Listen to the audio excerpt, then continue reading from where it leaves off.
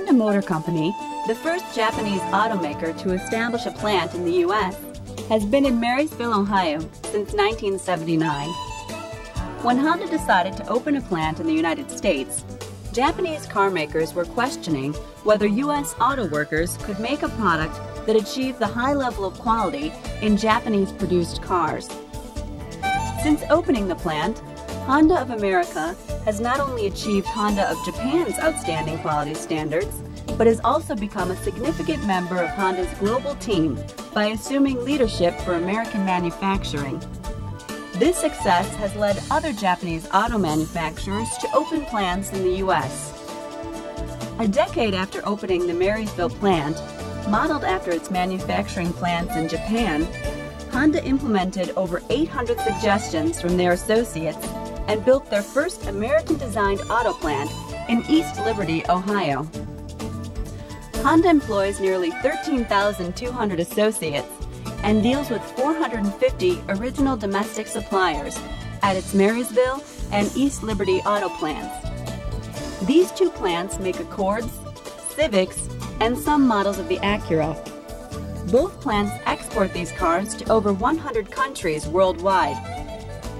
At Honda, quality began with its late leader, Soichiro Honda, whose company philosophy of maintaining a global viewpoint while being dedicated to supplying products of the highest quality at a reasonable cost for worldwide customer satisfaction has not changed since 1950.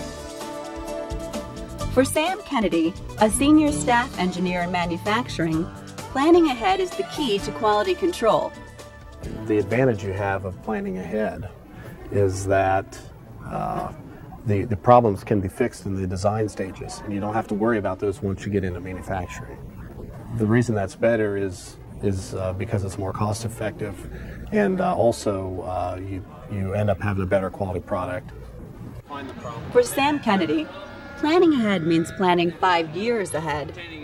Honda's new model cycle is based on the Deming cycle of plan, do, check, act. The engineers at Honda check any design flaws and quality issues affecting the current model. Then a team of designers, engineers, quality control officers, suppliers, and associates act on their findings and plan better production methods and equipment for the new model. The new methods and equipment are tested and the employees are trained to use them. By the time new models go into production, there is little threat of equipment failure or improperly trained employees. Once the plans are implemented, the associates assemble the new models on the assembly line. Production of the new model usually overlaps with production of the current model. The cycle continues as problems from the new model emerge, and quality control groups examine how production can run smoother. By following these steps, Honda ensures that the new process will run efficiently and at the highest quality possible, even before the first model enters the assembly line. The reason we have one of the most efficient uh, new model cycles is because we engage all areas of our company, manufacturing and uh, R&D and sales side in trying to improve the, uh, the product uh, as we develop it. For Honda's employees, the work that surrounds introducing a new model is very important for quality control. Preparing uh, associates for what is to come prevents quality problems and bottlenecks later. An important part of Honda's plan ahead theory of quality is employee training. Honda emphasizes continuous employee training so that production never has to be shut down, even during model changeover years. When we change over from the old model to the new model, uh, traditionally automotive man manufacturers shut down. And uh, uh, we've uh, elected not to do that for a couple of reasons. One is uh, it's not cost effective uh, because you lose production. And the second reason is, is because the, the associates actually doing the processes um, uh, they actually make less mistakes and do a better job if if they maintain the same level of production uh, uh, capacity and efficiency.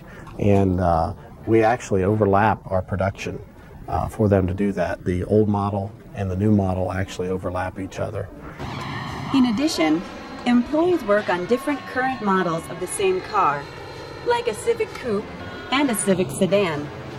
It's not unusual for associates to assemble several different types of the same car in a single day. In order to keep the quality of each car consistently high, Honda encourages associates to be familiar with as many tasks and departments as possible. Within each department, associates may learn as many as four tasks, so they can rotate tasks every two hours. This rotation prevents quality fatigue. Quality fatigue is uh, uh, typically what you talk about when humans do a job for too long of a period of time and they start making mistakes. And uh, uh when you're in a production environment and you work on an assembly line particularly and you do a repetitive job uh, for too long of a period of time, uh, you will develop quality fatigue. And uh, there's several methods to get around this. The method that we use is that uh, our associates uh, they rotate from one job to another job every couple of hours, and uh, this keeps them fresh and, and keeps them from making uh, mistakes, from becoming too dependent on doing one process continually.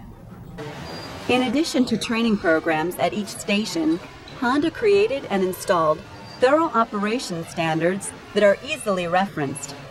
These operation standards include step-by-step -step instructions and color photos of each task performed in the department.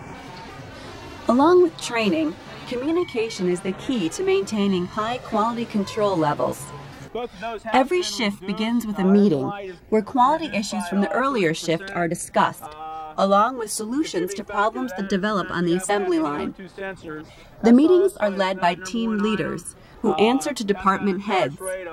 Department heads attend larger quality control meetings daily and filter information down to the team leaders. Department heads report to quality control leaders, engineers, and designers who are constantly monitoring quality control, measuring defect rates, and assessing trends. Designers participate in frequent quality circles where associates voice their opinions on how the line can run better.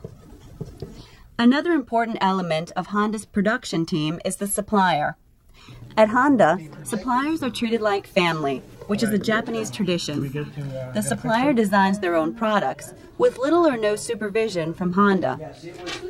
Honda simply gives them the design specifications and the quality standards, then lets the suppliers devise the most efficient, cost-effective manner with which to make the parts. We treat our suppliers as a direct extension of our facility. Uh, the suppliers are responsible for their own quality.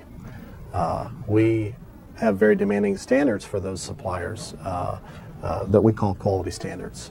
Uh, the suppliers uh, are required to meet that on, on a routine basis, uh, and we work with them uh, when they have problems.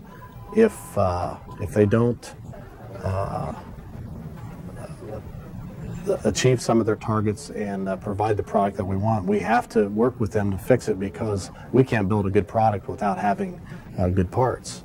And the supplier is continually focusing on getting zero defects. And uh, this continuous improvement process is the same thing that we do in-house. Uh, it's the same thing that we do at the supplier. Honda doesn't test the products that their suppliers ship to them unless they've had a problem or the supplier is new. Honda feels it's the supplier's responsibility to ship out perfectly conforming parts. With our suppliers, uh, we expect them to guarantee their quality. Uh, therefore, we don't inspect their parts when they come in. And uh, we use the, the same philosophy in house and we apply that to our suppliers. And uh, what that philosophy is, is that the next process is the customer. And uh, when you look at it from that perspective, uh, from a supplier's point of view, if they treat Honda as the next customer, as the customer, because it's the next process, uh, then it makes sense that they guarantee the quality themselves. That's why we don't have to inspect parts. Although the no testing procedure sounds alarming, Honda suppliers are actually encouraged to test their own products on the assembly line. This way, Honda is allowing their suppliers to take responsibility for their own products. Honda also invites suppliers to be guest engineers during the development of the new model. Participating on the ground level of new model design allows Honda suppliers to understand and meet Honda's needs for the next model. Ultimately, responsibility for quality lies in the hands of the associates who actually assemble the cars. Honda has 13,200 quality control inspectors, not just a quality team at the end of the line. Every associate has the power to stop the line for a quality control issue. Problems on the line are fixed where they are found, not just at the end of the line. There are boards installed in various places on the line that show planned daily output versus actual output. Associates can glance at that scoreboard to learn immediately whether or not they are achieving their daily targets. If an associate finds quality defects during the day, they inform their team leader, then enter the defects into a computer. The computer tracks them for daily reports and immediately updates the actual numbers and the straight ship numbers on the scoreboard. By informing associates of their progress, Honda makes their employees accountable for quality. This approach builds incentive and teamwork and keeps associates interested in maintaining quality control. Honda's reputation as a quality car maker has endured throughout its tenure in the United States. By planning ahead, trusting employees and suppliers to maintain high quality standards, revising production processes, and continuously training employees, Honda has proven that U.S. auto workers can build outstanding, high quality cars that are affordable to consumers.